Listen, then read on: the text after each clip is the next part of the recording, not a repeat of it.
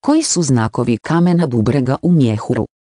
Postoji nekoliko znakova koji ukazuju na to da netko ima bubrežni kamenac u mokračnom mjehuru, iako u nekim slučajevima uopće nema simptoma. Bolesnici mogu osjetiti nelagodu ili bol u donjem dijelu trbuha. Mogu osjećati potrebu za učestalim mokrenjem, teškoće s mokrenjem ili bol. Urin može izaći tamnije boje nego što je uobičajeno ili u urinu može biti krvi. Ponekad kame može dovesti do infekcije mokraćnog sustava. Kod nekih ljudi ne postoji i znak da imaju bubrežni kamenac u mjehuru. To je prilično uobičajeno ako je kamen vrlo mali, iako se čak može pojaviti i kod većih kamenja.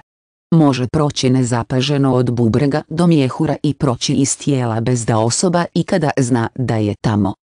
Bubrežni kamenac u mokračnom mjehuru može uzrokovati bol, tipično smještenu u donjem dijelu trbuha.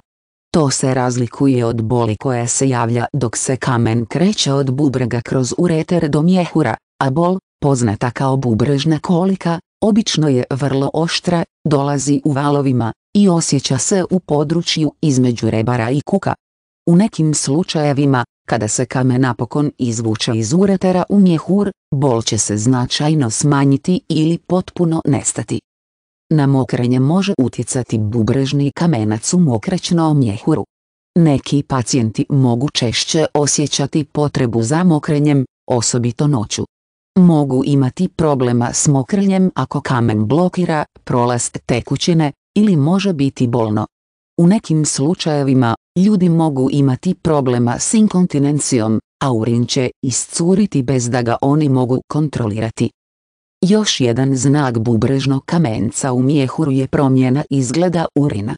Kod nekih ljudi, mokraća može postati bezbojna, što se čini tamnijom od normalne. Ako je kamen velik, tvrd ili nazubljen i zbog toga iritira ili ogrebotine unutar mjehura, može se primijetiti i krv u njegovom urinu. Kada protok mokraće blokira bubrežni kamenac u mjehuru, može se pojaviti infekcija. Ti pacijenti obično pokazuju uobičajene znakove infekcije kao što su groznica, zimica ili znojenje. Oni također mogu primijetiti dodatne bolove i otekline u abdomenu.